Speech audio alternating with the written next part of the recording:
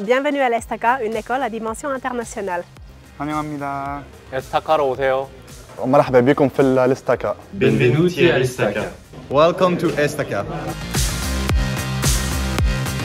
Je suis partie en quatrième année en Thaïlande. Bon, moi, je suis parti deuxième semestre de la troisième année euh, à l'Université nationale de Chonnam, euh, à Gwangju, en Corée du Sud, pour étudier le management et l'écologie. Je suis parti en troisième année en- dans le département Aerospace Engineering à l'Université des sciences appliquées à Hambourg, en Allemagne.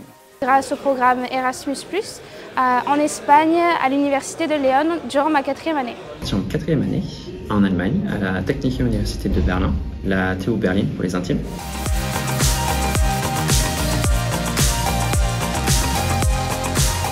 Sur le plan académique, j'ai pu me former sur l'étude éléments finis de matériaux composites. Et sur le plan personnel, j'ai pu euh, découvrir une nouvelle culture en voyageant à travers le pays. J'ai pu progresser énormément à mon niveau d'espagnol.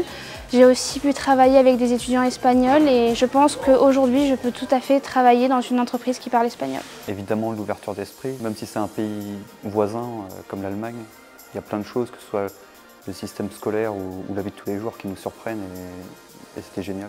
En premier lieu, le dépaysement, l'apprentissage d'une nouvelle culture, s'ouvrir plus facilement aux autres, et ça m'a ça m'a vraiment transformé.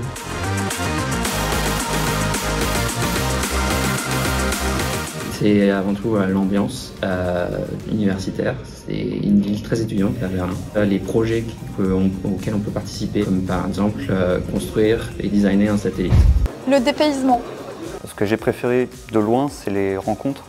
Donc euh, à la fois les Allemands sur place, mais aussi et surtout les autres étudiants internationaux. La facilité de voyage, l'accessibilité des gens, des villes, la nourriture était incroyable. La mixité culturelle entre les différentes personnes Erasmus et aussi euh, le fait d'apprendre une langue sur place est beaucoup plus simple qu'en apprenant en cours à l'école.